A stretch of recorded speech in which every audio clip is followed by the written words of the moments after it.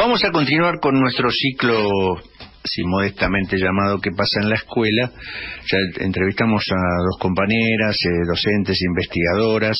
Ahora vamos a hablar también con un querido compañero, docente, historiador, sobre esta temática que nos preocupa por un, por esa, digamos, inquietud que tenemos de saber eh, qué les están enseñando a, nuestros jóvenes, a nuestros pibes en la secundaria, en la primaria, inclusive en la universidad, porque creemos que la batalla cultural no solo se da en los medios o en las redes sociales, sino también hay que darla en la escuela, en la formación inicial y, digamos, siguiente de, nuestros y nuestras alumnas.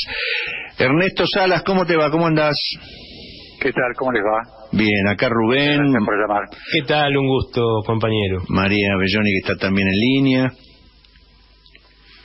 Ernesto. Buenas tardes. Ah, Gracias por. Gracias, María.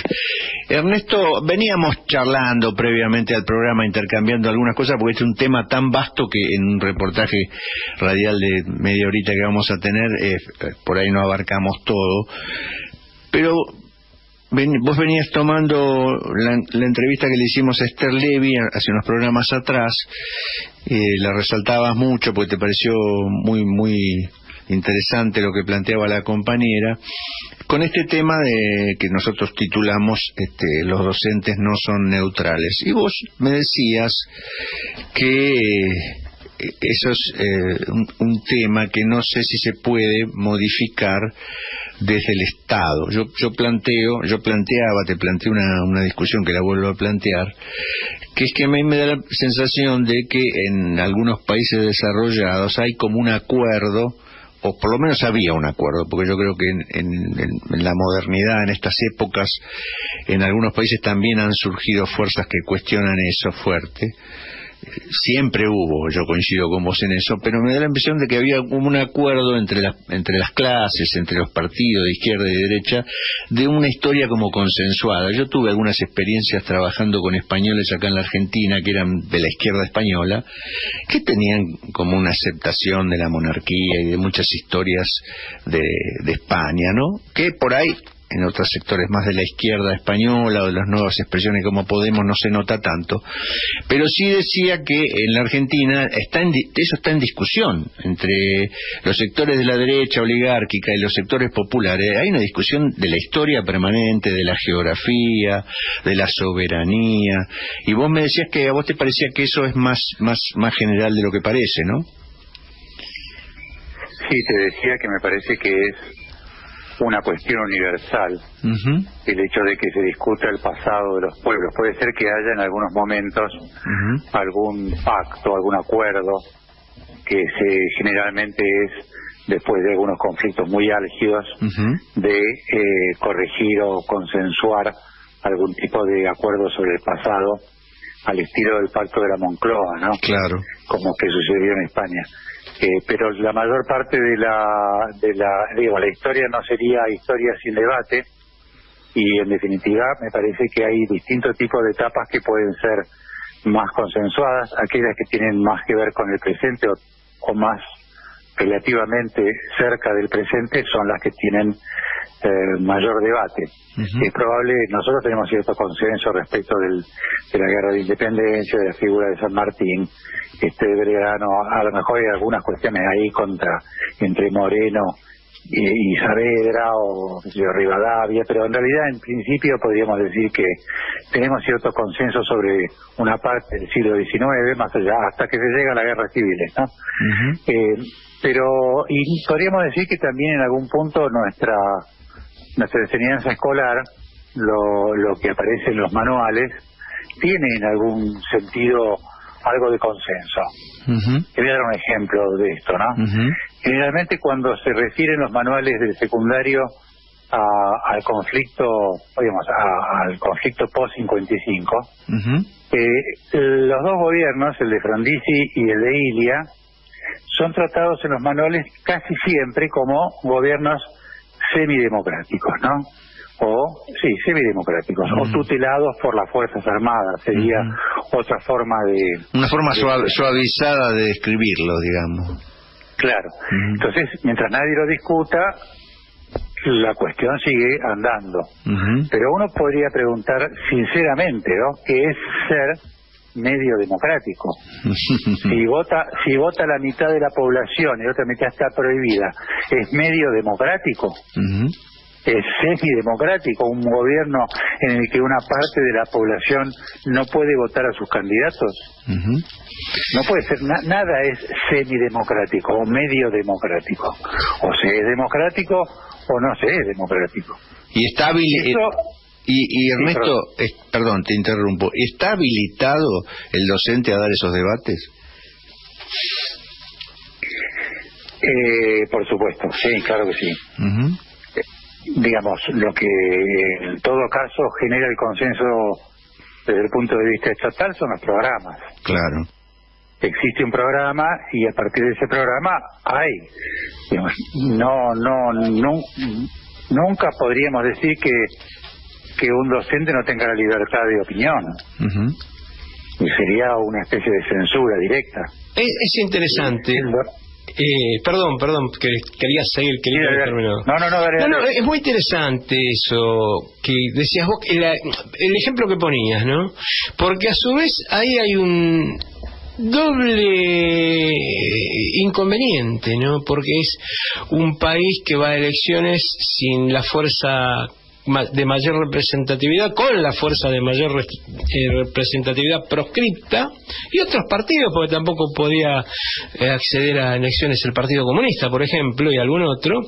Este pero a su vez hay una parte de la población que acepta gustosa eso porque detesta al movimiento peronista con lo cual también esa parte de la de la población se manifiesta altamente antidemocrática. Ya no es solo la institución, el Estado, el que, el que plantea la, eh, un, hecho antidemocrático, lo plantea como una elección legal, sino que hay una parte de la población importantísima que acepta ese juego gustosamente.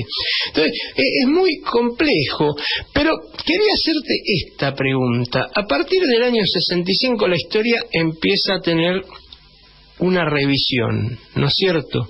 Hay una revisión histórica a partir del año 65, mediados de los 60, para no ser tan taxativo, en el cual se empieza a cuestionar la historia mitrista y, los conceptos que él introdujo para, para la conformación unificada de, un, de una sociedad que sea homogénea, cosa que nunca logró, pero en, alguna medida había ciertos controles. en, eso retrocede con los milicos.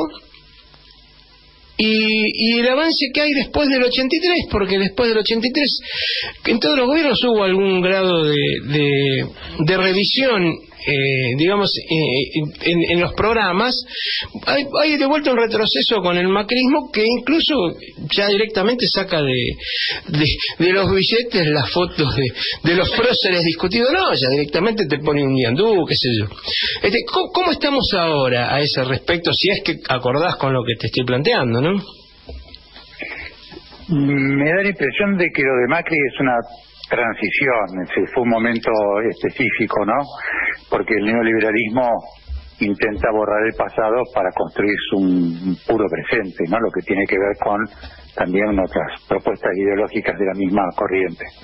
Eh, la historia siempre será discutida porque es marco del presente. Y no hay historia lejana o historia cercana. Tal vez la más cercana, que es la que tiene más real y más eh, ligazón con el presente, sea un poco más controvertida, pero podemos discutir Rivadavia y estar discutiendo el presente. Podemos discutir, la pregunta sería más bien, en el caso de los manuales, que eso lo hemos planteado los historiadores, es porque la mirada es eh, de un solo sector de clase y no aparecen los sectores populares como historiados dentro de lo que sería, por ejemplo, el siglo XIX, corriente que ha empezado a tener mayor fuerza en los últimos años a partir de los trabajos de Ricardo Fratkin, de, mm, de etcétera, ¿no? Eh, de, de, eh, no recuerdo cómo se llama este bueno. Eh, pero bueno, efectivamente hay allí una mirada, lo que vos preguntabas es, ¿en algún momento se puede dejar de discutir la historia? Yo creo que no.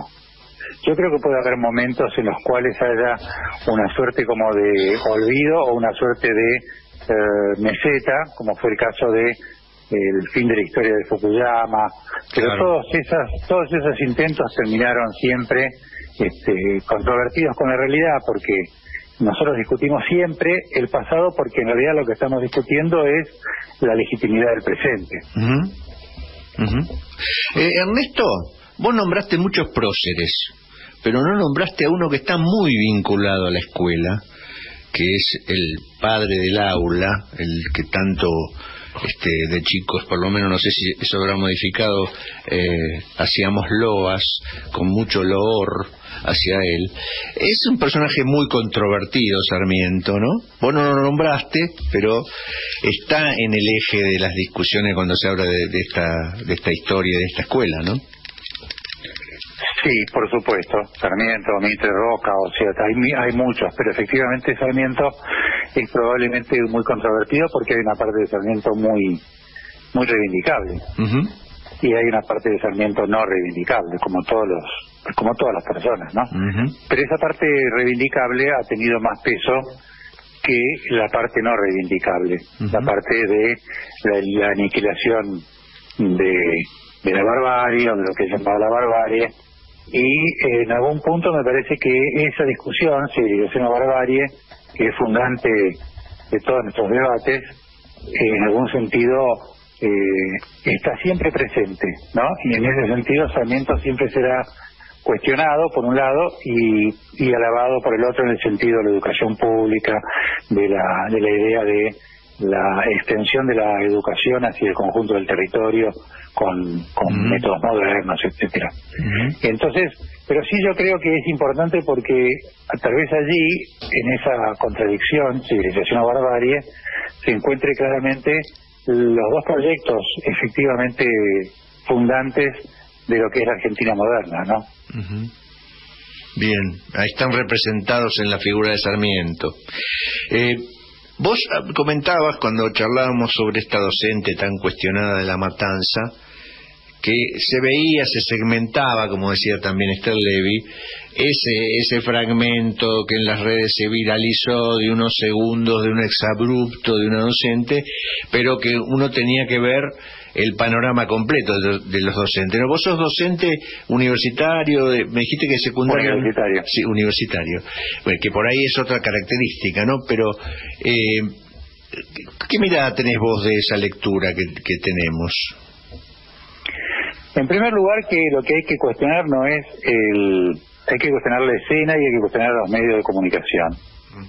En los medios de comunicación no se discute o no se puede discutir con profundidad eh, una escena, porque la escena es simplemente una utilización de parte de los medios para algo determinado, para una intención determinada, como puede ser en este caso el tema de la campaña electoral que estaba en el medio de la cuestión y obviamente era había que buscarla.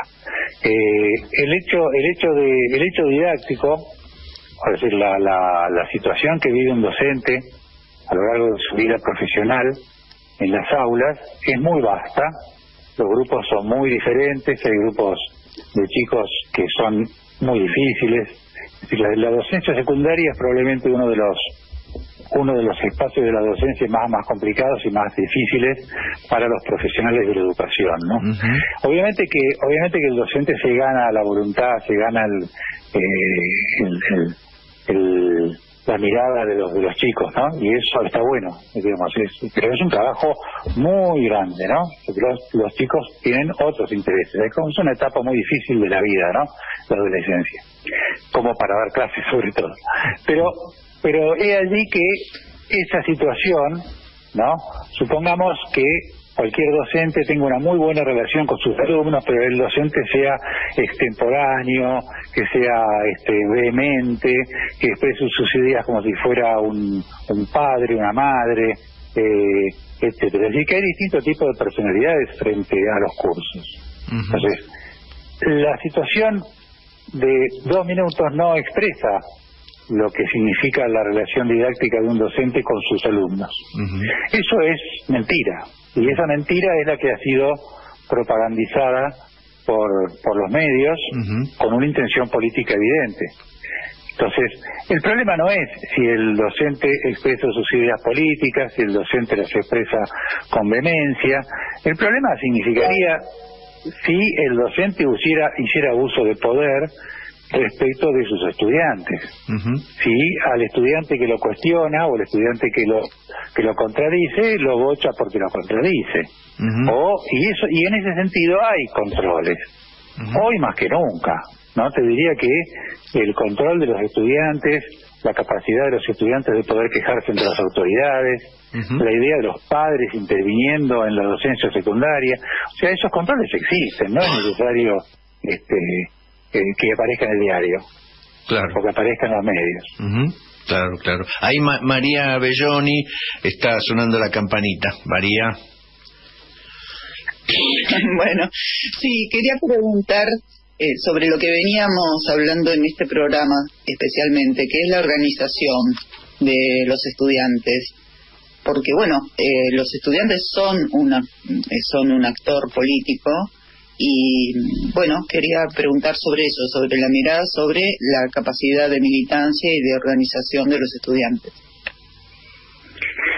Eh, Vos sabés que la, la, movilización y la participación política de los estudiantes es un fenómeno del siglo XX.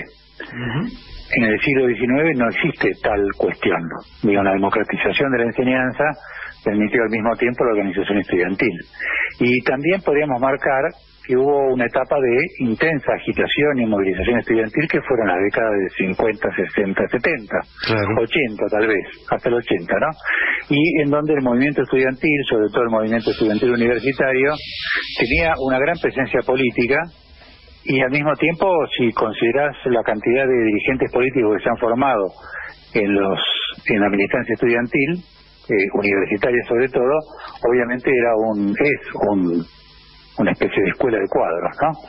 Lo cierto es que en los últimos tiempos el movimiento estudiantil universitario y sobre todo en democracia ha perdido la intensidad y la vehemencia y la, la importancia política que tuvo en otras ocasiones. Y eso es algo que debería plantearse por qué sucedió, ¿no? ¿Por qué en algún sentido la institucionalización de los centros de estudiantes hizo perder poder eh, a los centros de estudiantes y a, los a la movilización estudiantil. Y al mismo tiempo al, tema de eh, la adhesión que los estudiantes universitarios prestan a la política universitaria. Sí, nosotros que venimos... Como si no hubiera demanda, ¿no? Pero, las demandas siguen, las demandas siguen existiendo. Como si no hubiera demandas eh, propiamente universitarias. Sí, me da la sensación que son, nosotros que somos más del mundo gremial, este, que alguna de esas características la tuvo también eh, la representación gremial, ¿no? Que se empezaron a disputir, a disputar espacio de poder económico, eh, perdurabilidad en los cargos, esas cosas empezaron a aparecer también en los centros de estudiantes. Hoy, hoy día, por ejemplo, algo surgido mucho de la militancia universitaria como es Franja Morada, lo vemos en, posiciones que son increíbles y que contrastan enormemente con lo que esos mismos pibes decían en la década del 80, ¿no? Sí, y, yo creo que eh, Franja Morada desde el 84 hasta mediados de los 90 fue casi hegemónica en las facultades e inclusive en, muchos colegios secundarios. Yo creo que eso atentó. La derechización de las políticas de la UCR tocaron claramente a la política universitaria. Eh, esto es un tema. Eh, volviendo al tema de la, de la docente, nosotros nosotros realmente teníamos una estimación muy grande cuando éramos estudiantes secundarios allá por los 70, con los docentes que nos debatían, que nos, que nos debatían con vehemencia, llegábamos a tener un respeto absoluto. Ahora parece que esta mujer, que en realidad utilizó argumentos absolutamente válidos, pero con una gran vehemencia, eh, sale sale a ser estigmatizada. Y la respuesta el único, el único que hace una respuesta válida es increíble, Alberto Fernández. Después todo el espacio, por ejemplo, del Frente de Todos la salió a, a cuestionar. este, ellos pueden decir cualquier cosa, ellos pueden tratar a una mujer de cualquier cosa, o pueden decir negros de mierda. Sale una persona con ideas cercanas al movimiento popular, a plantear un tema sensatamente, sin estigmatizar a nadie y simplemente con mucha fuerza, y salen a matarla a todos los medios, y nosotros, ¿qué hacemos? Nosotros salimos a decir, no, pero esto así no se hace. Una cosa de loco, ¿no? Esto yo creo... Es una de las cosas que motivó que hiciéramos esta charla. Por, por supuesto, por eso, por eso se lo planteó Ernesto, y digo, vos, ¿Cómo, ¿Cómo, lo visualizás esto? ¿Tenés una visualización parecida o, lo ves desde otro punto de vista? Volvamos de nuevo a lo que dijo Esther, ¿no? Los docentes no son neutrales. Es mentira, es mentira que el docente es neutral, ¿no? Ningún docente que en su aula no exprese sus propias opiniones. Lo saben ustedes cuando recordarán ustedes los profesores que han tenido, lo mismo que lo recuerdo yo. Sin duda. ¿No? Este, como estudiantes y también como docentes, y es que alguno de los docentes sabe que en algún sentido las opiniones del, docente tienen que estar en el aula, porque supongamos, hagamos un ejercicio de que hubiera sido exactamente al revés. ¿No? Es decir, que la persona que estuviera al frente del aula a los gritos gritara este, que la yegua los estafó, que la yegua se enriqueció, ¿no? En, en, el mismo en el mismo sentido. Uno podría decir que a lo mejor la expresión para no caer en el tema de que me conviene y digo que está mal y no me conviene y digo que está bien, ¿no? Digo, empecemos a, también a mirarnos nosotros mismos porque es la única manera de, de hacer un ejercicio de pensamiento crítico. Eh, si eso hubiera sucedido, nosotros hubiéramos puesto el grito en el cielo por esa, por esa escena, pero esa escena, vuelvo a repetir, son dos minutos. Entonces, esa escena de una persona que grita, la pregunta sería, ¿los estudiantes no podían contestarle por temor al docente? No podían contestarle porque sabían que iba a tener castigo su respuesta frente a la opinión del docente que era expresada de manera vehemente, o, en realidad sí tenían esa posibilidad. En el caso de este, Laura Radetito, docente de la Matanza, la cual conozco y tengo amistad desde hace 40 años, No, no, no tenían nunca ningún tipo de temor los estudiantes de plantear de la misma manera que ella estaba planteando eh, la cuestión una respuesta, porque de hecho en el video, en esos dos minutos, aparece la respuesta de los, de sí, Sí, sí, sí, es cierto. Y es un fragmento, porque no conocemos todo el contexto de la conversación, ¿no? De, cualquier manera, yo se ve que no fui claro, eh, yo te lo planteaba al revés, ¿no? Que, eh, claramente, no se sienten condicionados los docentes al ver que los sectores que deberían acordar con ellos lo salen a cuestionar. A eso me refería, más que nada, Ernesto. Porque nosotros mismos no lo salimos a bancar. Yo creo que hubo mucha gente que sí, que efectivamente salió a bancar desde, Alberto Fernández para abajo, ¿no? Tal vez no trota y en algunos sentidos algunas personas que se sintieron como como que como que no era oportunamente político por las elecciones porque había que retroceder un poco. El asunto es que no, no creo que los docentes se sientan impugnados por... Tengo mucho eco, ¿puede ser?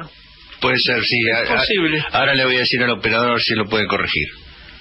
Perdón, porque me siento como como que me respondo yo Acá se, acá se escucha muy bien. ¿eh? Al, aire, al aire se escucha bien, ¿eh? Tranquilo. Bueno, digo, digo que la oportunidad política a lo mejor sea también coyuntural. No, ningún docente se va a sentir impugnado por el hecho de opinar lo que piensa. Y sobre todo, tal vez, la, la materia historia o la materia eh, que tiene que ver con la discusión política eh, es un lugar propicio para eh, la discusión. ¿Qué sería la cuestión contraria? No, no proponer la discusión. Sí, sí, es, verdad. María, María, vos querías intervenir de, nuevo, ¿no? María, ¿estás ahí? Sí, yo... Sí, hola, hola, ¿se me escucha? Sí, sí, te escucho bien, dale. Bueno, eh, yo quería volver otra vez a, a, la, a, la, a la posibilidad de la acción política de los estudiantes organizados con respecto también a, a la política en general y, como decía Ille, a su participación en las causas que tienen que ver con eh, la clase obrera y etcétera. Recordar que la, digamos el protagonismo de los estudiantes comenzó también en 1918 en Córdoba cuando se consigue la gratuidad. Sí, sí, ¿verdad? Es verdad. De la, es verdad. Pero ya es siglo, siglo XX, ya, siglo XX, sí. Sí, sí, sí, sí, sí. eh, y después, bueno, ser, ser, eh, tenemos el cordobazo, digamos, tenemos eh, en los finales de 60 y, y comienzos de los 70 hasta la, hasta la hasta antes de la dictadura también un protagonismo importante y más allá y en de la época- las cuestiones en- hacia el interior Y en la época de Perón, la UES, también recordémosla, la Unión de Estudiantes Secundarios, ¿no? también claro por supuesto Ujú. Sí, por supuesto.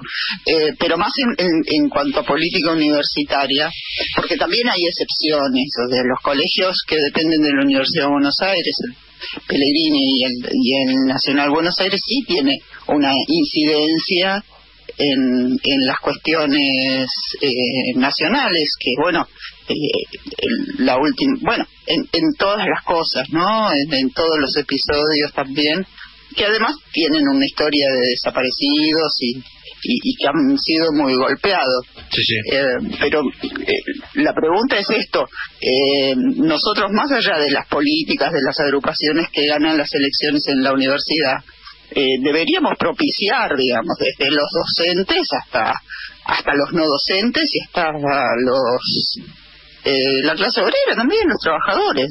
No sé qué pensás. Mira, recién nombraste 1918, ¿no?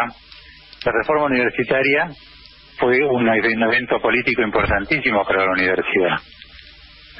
Pero 100 años después, no hay demandas estudiantiles que superen la reforma universitaria de 1918, es decir, siempre tenemos que estar recordando la reforma. Vos también hiciste hincapié en la militancia de la juventud peronista, de la juventud universitaria peronista en los 70, 70, 70, y en los 80 también, ¿no? primer lugar, demandas propias de los estudiantes, que hoy son, deben ser diferentes a las que a las de hace 100 años. Claro. Por ejemplo, eliminar la, el claustro, o decir, propiciar, perdón, el claustro único docente, ¿no? Hoy todavía votan en el claustro de profesores los profesores titulares asociados y adjuntos concursados. Y en el claustro de graduados los docentes, el resto de los docentes. ¿Cómo puede ser que eso todavía no haya sido modificado? ¿Cómo puede ser que los docentes voten calificadamente? Es decir, que el, que el docente auxiliar sea una opinión menor que la del docente titular. Primera cuestión. Segunda cuestión tiene que ver con el tema del involucramiento de las agrupaciones estudiantiles con las luchas populares.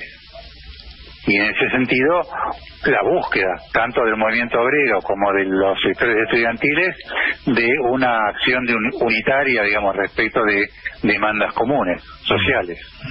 Obviamente que lo propiciamos. Bien, bien. Ernesto, vamos a ir redondeando, bueno, pasamos de la media hora prevista porque nos entusiasmamos mucho.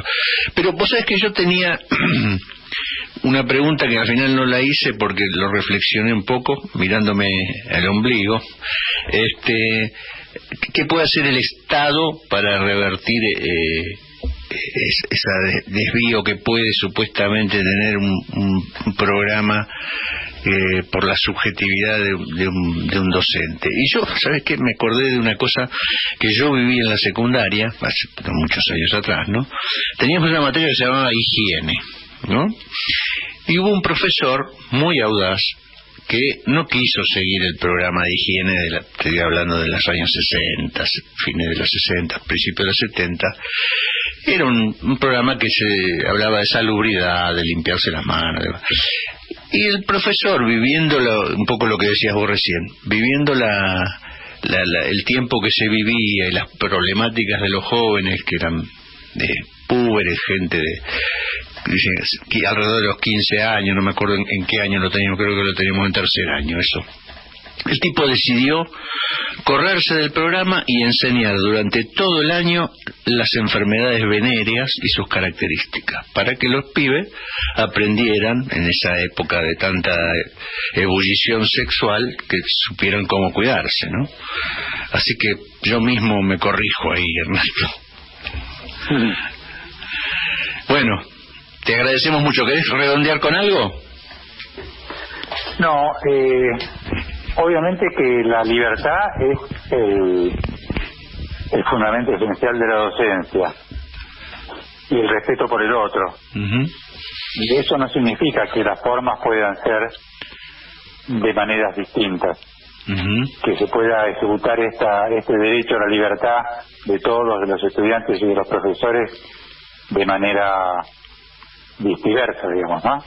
O sea, pero lo que no se puede hacer es utilizar, porque hay, a mí me parece que lo que primero que hay que hacer es cuestionar a los medios, a los medios de comunicación, que quieren hacer creerle a la gente que se puede ver un aula, que se puede curiosear lo que sucede dentro de, dentro de un aula en dos minutos, en los dos minutos que ellos mismos han seleccionado para hacer campaña política.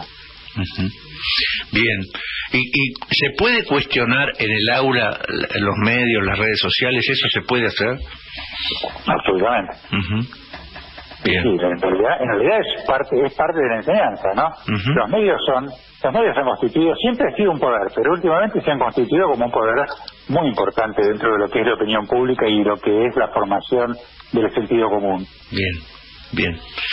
Ernesto, ¿en, qué andas? ¿Qué andas escribiendo antes de despedirte? Bueno, en este momento, un poco dirigiendo la revista de la universidad, la Universidad Jaureche, y trabajando en la obra de García Linera. Ah, mira vos. me parece que es uno de los tipos más interesantes en los últimos años respecto de lo que sería el pensamiento eh, emancipador latinoamericano. ¿Vas a hacer una especie de recopilación de las intervenciones del vicepresidente de Bolivia? Voy a hacer unos cuadernos para la para la universidad eh, de pensadores de emancipación, entre los cuales van a estar García Linera, también tenemos previsto Aníbal Quijano, eh, Boaventura de Sousa Santos, o sea, la idea es renovar el pensamiento latinoamericano en su presente para no estar siempre ligados al siglo XX. Bien, muchas gracias Ernesto Salas por haber participado nuevamente en nuestro programa. Un abrazo grande, compañero. Por llamar. Gracias. Gracias. Gracias.